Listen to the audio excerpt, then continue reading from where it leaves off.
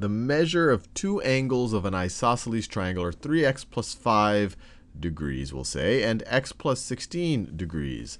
Find all possible values of x. So let's think about this. Let's draw ourselves an isosceles triangle or two. So it's an isosceles triangle, like that and like that. And actually, let me draw a couple of them, just because we want to think about all of the different possibilities here. All of the different possibilities. So we know from what we know about isosceles triangles that the base angles are going to be congruent. So that side, that angle is going to be equal to that angle. That angle is going to be equal to that angle. And so what could the 3x plus 5 degrees and the x plus 16, what could they be measures of? Well, maybe this one right over here has a measure of 3x plus 5 degrees, and the vertex is the other one. So maybe this one up here is the x plus 16, x plus 16 degrees.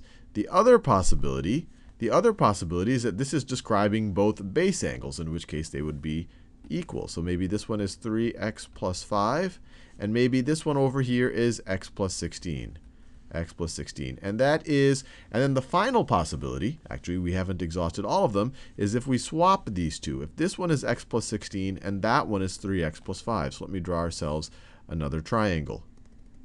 Let me draw ourselves another triangle. And obviously swapping these two aren't going to make a difference because they are equal to each other. And then we could make that one equal to 3x plus 5, but that's not going to change anything either because they're equal to each other. So the last situation is where this angle down here is x plus 16, and this angle up here is x plus is 3x plus 5. This is 3x plus 5. So let's just work through each of these. So in this situation, if this base angle is 3x plus 5, so is this base angle. And then we know that all three of these are going to have to add up to 180 degrees. So we get 3x plus 5 plus 3x plus 5 plus x plus 16 plus x plus 16 is going to be equal to 180 degrees. We have 3x. Let's just add up the, you have 3x plus 3x, which is, gives you 6x, plus another x gives you 7x. 7x. And then you have 5 plus 5, which is 10, plus 16 is equal to 26. Is equal to 26, and that is going to be equal to 180. And then we have, let's see, 180 minus 26. If we subtract 26 from both sides, we get 180 minus 180 minus 20 is 160, minus another 6 is 154. 150, 154. You have 7x is equal to 154. 7x is equal to 154. And let's see how many times this, if we divide both sides by 7, 7 will go into 140 20 times. And then you have another 14. So it looks like it's 22 times. So x is equal to 22. Is that right?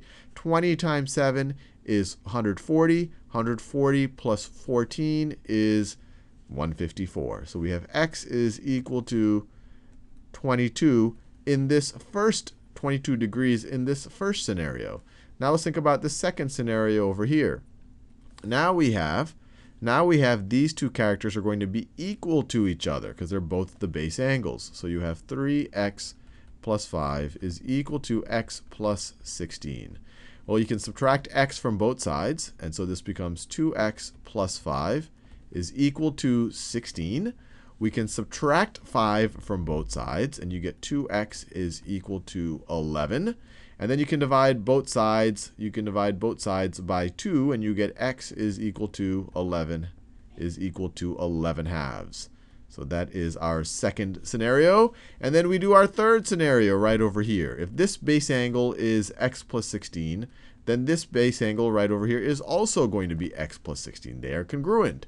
And then we can do the same thing that we did for the first scenario all of these angles are going to have to add up to 180 degrees. So we have x plus 16 plus x plus 16 plus 3x plus 5 plus 3x plus 5. When you add them all together, you're going to get 180 degrees. Now let's add up all the x terms. x plus x is 2x plus 3x is 5x. So we get 5x, 5x, and then you have 16 plus 16 is 32. 32 plus 5 is 37. Plus 37 is equal to 180 degrees. is equal to 180 degrees.